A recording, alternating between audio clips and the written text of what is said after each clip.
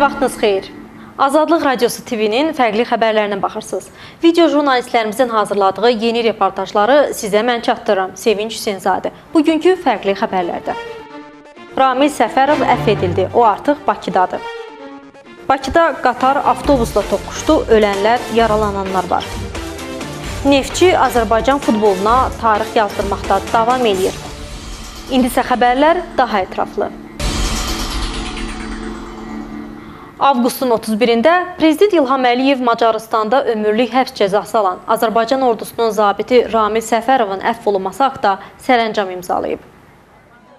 Ramil Səfərov 2004-cü ildə Macarıstanın Budapeşt şəhərində keçirilən hərbi təlimlər zamanı Azərbaycan bayrağını təhqir etdiyi bildirilən erməni zabitini qətlə yetirib. Yarım.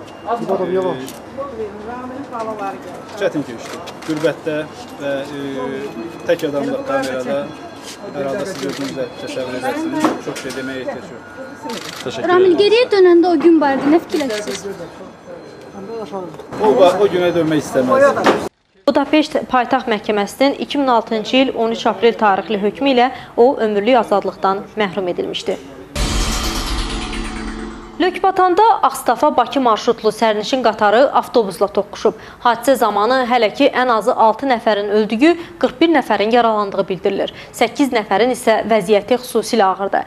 Hadisə yerində olan və xəstəxanaya aparılmış yaralılara baş çəkən müxbirlərimiz xəbər verirlər. Avqustun 31-i saat 7:30-da Bakı-Ağstafa marşrutu ilə hərəkət edən sərnişin qatarı Qaradağ rayonu ərazisində 124 saylı sərnişin avtobusu ilə toqquşub.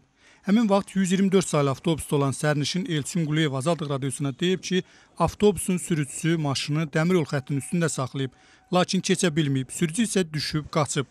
Onun sözlərinə görə hadisəyə ərazidə olan şlaqbaumun tez açılması səbəb olub. Elçin Quliyev deyir ki, 15 dəqiqə sonra həm təcili yardım, həm də hüquq mühafizə orqanları hadisə yerinə gəliblər. Qatar dəmir yolu xəttinin üzərində nasaz vəziyyətdə dayanan avtobusu təxminən 20 metr sürüyüb.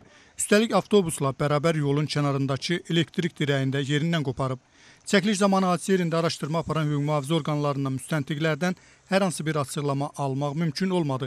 Səhiyyə Nazirliyi Mətbuat Xidmətinin rəhbəri Anar Qədirli AP agentliyinə deyib ki, yaralıların sayı 41 nəfərdir. Onun sözlərinə görə kliniki tibbi mərkəzdə olan 8 nəfərin vəziyyəti ağırdır. Hazırda onlardan 2 nəfəri əməliyyatdadır. Ümumilikdə qəzada 41 nəfər yaralanıb. Onlardan 32-si kliniki tibbi mərkəzə, 9 nəfəri isə travmatologiya institutuna aparılıb. Həmin şəxslərdən 8 nəfərinə ambulator yardım göstərildikdən sonra evə buraxılıb. Zərər çəkənlərin yaxınları isə onların taleyi ilə bağlı hər hansı məlumat almaq üçün kliniki tibbi mərkəzin və patoloji anatomiya bürosunun önünə toplaşmışlar. Onlardan bəziləri deyirdilər ki, hadisə nəticəsində vəfat edən şəxslərin sayı rəsmi məlumatlarda göstəriləndən daha çoxdur. Gəlmişik bura həkimlərə, içəri bizi buraxmırlar. Xəstələr də hamısı ağır. Elə bir vəziyyətdədir ki, heç elə bil ki, necə ki, balta ilə doğrayasan, belə. Hökumət bir buna bir nizamlanmalıdır, bir dispetcher qoymalıdır ora, bir şofer gətirməlidir ki, ay bala, sən professional şofersən sür. Arada gəzəndə bir uşaq uşağı şofer qoyur. Mən də ona görə də narahatım ki, bir mənimki deyil bu. Deyir, bura yığılan əhalinin ki, hamısının kiminin qıçası yoxdur, kiminin başını kəzib aparır. Bizimki də travmalı qansızdır, başına saat həkimlər üstündə işləyir. Səhər-səhər durdu ki, işə gedir. Bir də gördüm ki, skorları səsi görünür. Çıxdım qonşunun uşağından soruşdum, dedi ki, bəs poezlə 124 toxuşubdu,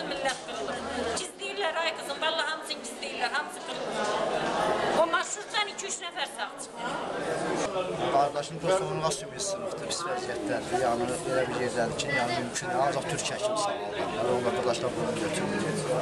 Yəni türk həkimlərini gözləyir, görək nə vəziyyətdir. Sizə kim deyib ki, ancaq türk həkim nəsə eləyə bilər? Buradakı həkimlərlə biz danışmışıq. Deyir ki, yəni ancaq türk həkim, türk həkim gəlməlidir. Yeni aparatlar hamısı ondadır. Yəni bizə aparat yoxdur. Fakta görə Bakı şəhər prokurorluğunda Cinayət Məcəlləsinin dəmir yolu nəqliyyatının hərəkət təhlükəsizliyi istismarı qaydalarını pozma, yol hərəkəti və nəqliyyat vasitələrinin istismarı qaydalarını pozma maddələri ilə cinayət iş başlanıb. Bakının mərkəzində söküntü bumu yaşanır. Artıq söküntü işləri Bakının yeknəsək mənzərəsinə çevrilib. Sizə danışacağımız bu söküntü hadisəsi isə özündən əvvəlkilərdən fərqlənir. Birinci, ona görə ki, bu söküntü dövlət ehtiyacı üçün deyil. İkincisi və ən əsası isə yarım sökülən binada yaşayış olduğu halda bu binanın torpaqları özəl sahibkara icarəyə verilib. Daha ətraflı Vüsalə Əlibəylinin reportajında. Mən ayaqqabı ilə girdim. Onsuz da neçə gündür evi yığışdırmırıq. Bir şey eləmədik. Çəkəndən oranı çəkə bilərsən nə vəziyyətdədir. Biz elə bütün gün elə buradacıq. Bakının Nizami rayonunda Tofiq Abbasov küçəsində yaşayan ona yaxın ailə bir gün xəbər tutur ki, yaşadıkları torpaq sahəsi sərəncamla başqasına verilib və bu sərəncamı 2008-ci ildə Bakı Şəhər İcra Hakimiyyətinin başçısı Hacıbala Abtalbov imzalayıb. Torpaqlarının satılmağı bir yana, sakinlər bir də görürlər ki, yaşadıkları 2 mərtəbəli binanın yarısını sökürlər. Yaşayış binasının bir tərəfini sökən şirkət Imperial AS MTK şirkətidir. Bakı merinin imza atdığı sərəncamda da bu şirkətin adı çəkilir və 2 hektara yaxın ərazi onun sərəncamına verilir. Bir şərtlə. O sərəncamda var ki, cəmaatı razı salmaq şərti ilə 60 min dollar, 3 otaqlara 80 min dollar təklif olunur və ya bunların bu tikilməmiş evlərində ev.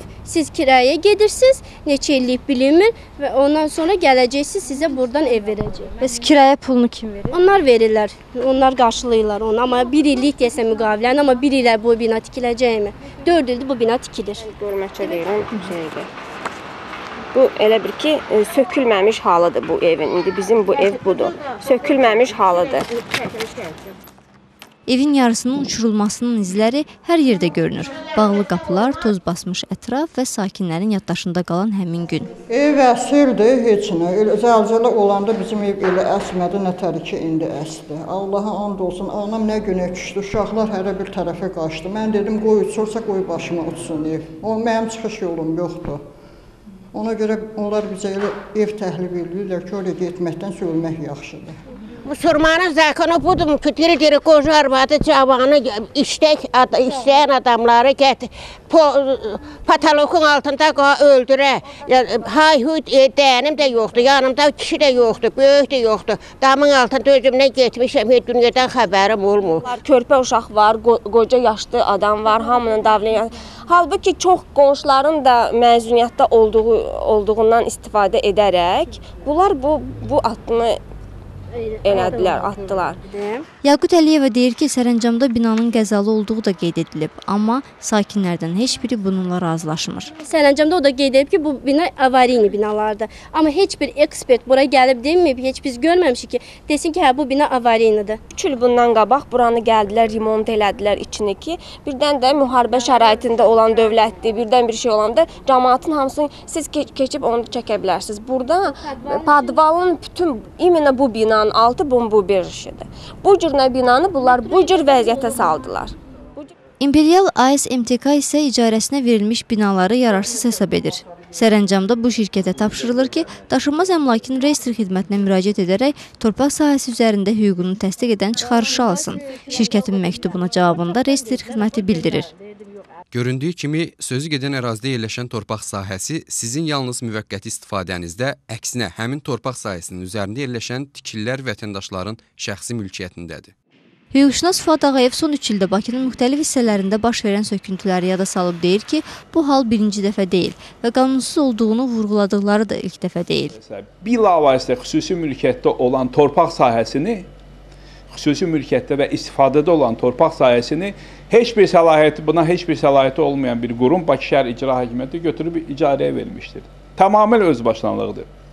Və e, insanlar yaşaya-yaşaya, yaşaya-yaşaya onların binalarının sökülməsi, dağıdılması, əlbəttə ki, bu tamamilə yol verilməz bir e, hadisədir, e, hərəkətdir. Heç bir qanunvericilik aktına sığışmır. Sakinlər evlərinin necə söküldüyünə baxmaqla kifayətlənməyib. Bütün aidiyyatı dövlət orqanlarına kömək üçün müraciət ediblər, amma onlara heç bir cavab gəlməyib. Hüquqşünas Fuad Ağayev onların bu cəhdlərini əhəmiyyətsiz sayır. Deyir ki, problemi həll etmək üçün yalnız məhkəməyə müraciət etmək gərəkdir.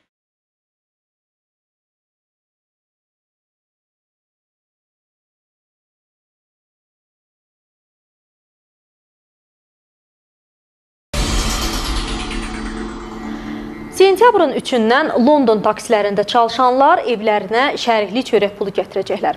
Yeni qaydalara görə onlar ya bir gündən bir, ya da növbə ilə gündə 12 saat işləməli və 36 manat günlük plan verməlidirlər.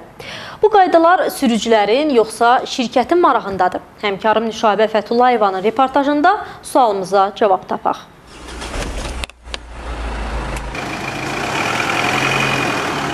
İndən belə London taksi sürücülərinin iki növbə ilə işləyəcəyi nəzərdə tutulur. Üstəlik, London taksilərindən alınan gündəlik plan 21 manatdan 36 manata qaldırıla bilər. Sürücülər bu addımın onsuz da ağır olan iş şərtlərini daha da ağırlaşdıracağı qənaətindədirlər. Kim istəyər? Yox, simen sərf eləməz, heç cür sərf eləməz. Yəni elə indiki halda heç işləmək mümkün deyil, o ki qaldı simində. Şifahi təlimat var ki, siz e, demək iki sistem iki nəfərlə, yəni bu nəqliyyat vasitəsini istifadə edəcəksiniz. E, demək, gündüz biri, gecə biri, ya bir gün biri, ya bir gün biri. Günü 36 manatdan, manatdan ödəmə şərtində. Yanacaqsız, aylıq əmək haqqısız. Biz ona razı olmuruq da, çünki tək işləməyimiz yaxşıdır. Çünki maşına da yaxşı baxmaq olur. Sən iki nəfər şərikinin malı yaxşı olmur.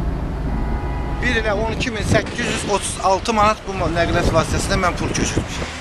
5 aydır London taksilərində sürücü işləyən Baloğlan Babayev deyir ki, bir günə 20-30 manat qazanc götürə bilər. Onun sözlərinə görə nəinki gündəlik planın qaldırılması, eyni maşından 2 nəfərin istifadə etməsi də sürücülər üçün problem yaradacaq. İki nəfər üçün bu alınmır. Mən harda ismenimi verəcəm, necə alacağam mən evə gedib gəlməyim var, oyun var. Amma belə olanda planımı yığıram, bilirəm gecdir, tezdir, saat 12-də bir də çıxıb gedirəm evə. Gedirəm evə, evdən də qayıdıb yenə gəlirəm işimə.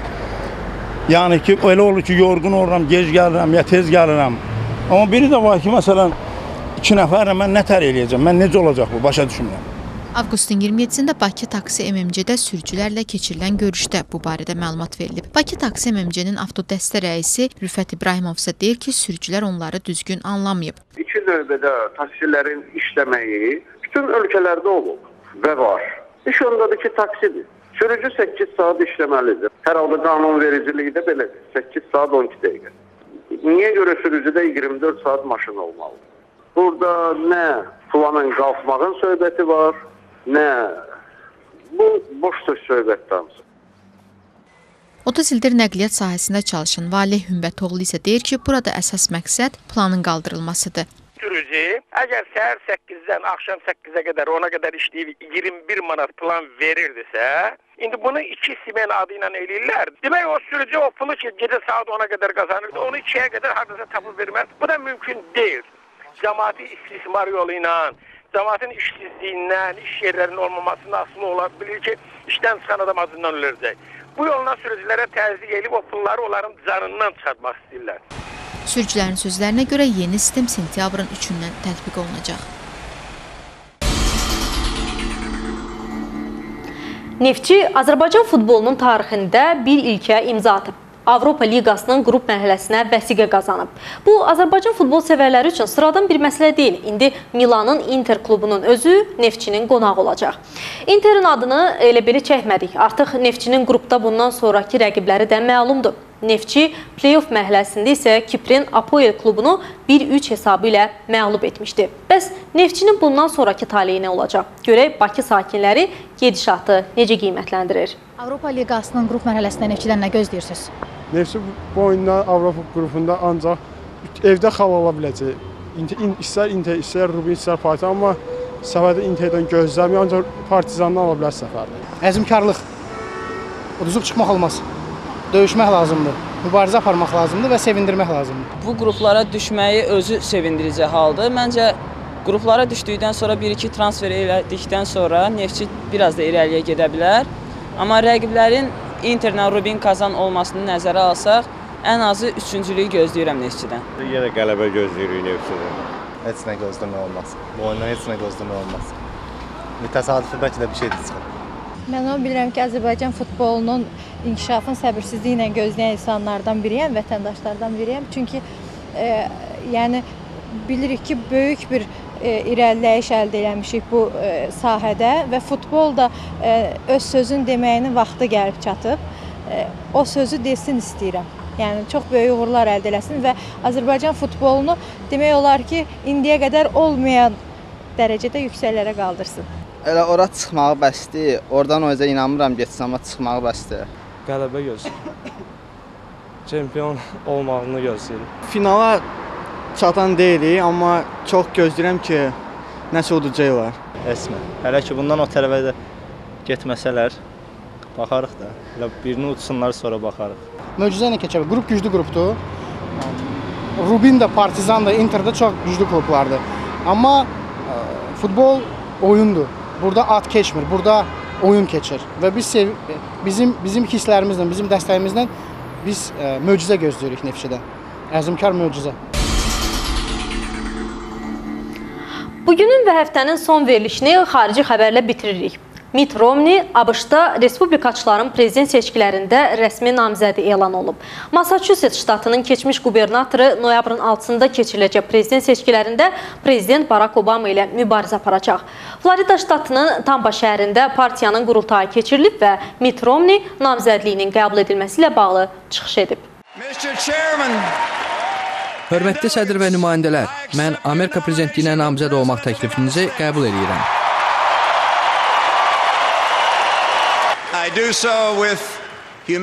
Sizin mənə göstərdiyiniz etimadı doğrultmağa çalışacağam. Bu çox böyük şərəfdir. Great honor. It's an even greater responsibility. Bu böyük də məsuliyyətdir. Bu gün mən sizdən daha yaxşı gələcək üçün mənimlə birgə yola çıxmağınızı istəyirəm. Öz tərəfimdən mən kiçik şəhərdən böyük ürəkli adamı seçmişəm.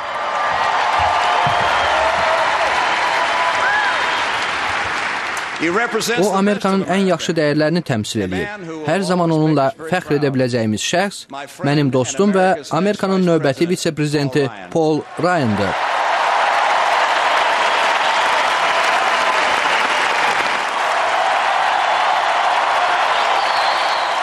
Çox təşəkkürlər. Tanrı səni qorusun.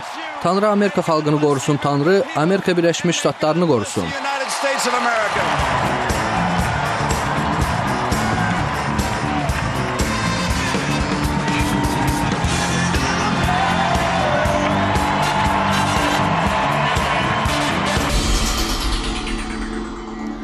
Növbəti fərqli xəbərlərin sonuna gəldik. Ölkədə və dünyada baş verənlərdən xəbərdar olmaq istəyirsinizsə, gözünüz daim yenilənən Azadlıq Radiosu .az saytında olsun. İnternet səhifəmizə gəlin ki, müxtəlif mövzularda hazırladığımız video, foto və audio reportajlarla tanış olasınız. Deməyə sözünüz varsa, radio efirimizə, Facebook və Twitter şəbəkələrindəki canlı müzakirələrə qoşulun. Problemlərinizi qaynar xəttimizə bildirin. Simsiz Telegraf rubrikamızda isə sizin çəkdiyiniz maraqlı video və fotoları yerləşdirməyə hazırıq. Sizdən çəkmək, bizdən yaymaq. Sağ olun, azadlıqda qalın.